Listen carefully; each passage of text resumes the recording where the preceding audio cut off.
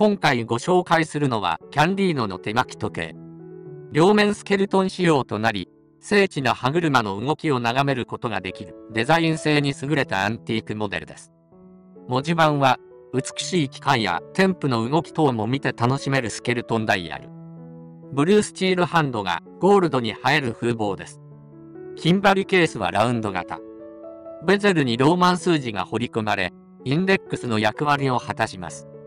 ムーブメントには、キャンディーノのロゴが入っています。ベルトはブラックの片押し本革仕様です。人とは違ったワンランク上のおしゃれを演出してくれる希少な一品です。キャンディーノ。1947年、スイス創業のキャンディーノ。スウェーデン軍に正式採用された機械式ミリタリーウォッチなどが有名です。希少価値の高い時計が注目を集める通好みの実力派ブランドです。操作方法。右サイドにあるつまみがリューズです。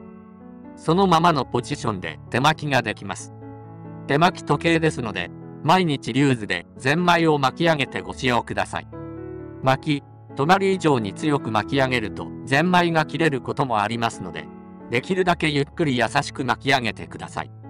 リューズは右回し、時計回りに指先の腹で前方に押し出すようにして巻き上げます。リューズを引いて回すと時刻調整ができます。秒針はありません。サイズ。ラグ幅 18mm。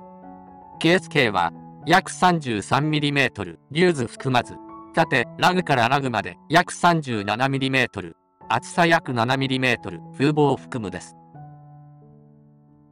この時計の外観コンディションや精度など詳細は説明欄にリンクを貼っていますので、ぜひご覧ください。